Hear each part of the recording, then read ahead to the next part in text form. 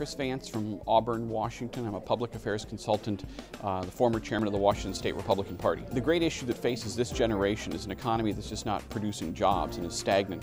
And the debt and, and our tax code and our dysfunctional spending system is the biggest drag on our economy right now. The number one thing we need are more good jobs for American families, and the debt is crushing that how the debt's affected me is I think it's how it's affected millions of Americans because it is such a drag on our economy. I know family members and friends who are struggling to find jobs, and I believe that it'd be a lot easier uh, if the debt were under control, if our tax code were reformed, uh, and if, if uh, spending were brought under control. It would help grow our economy.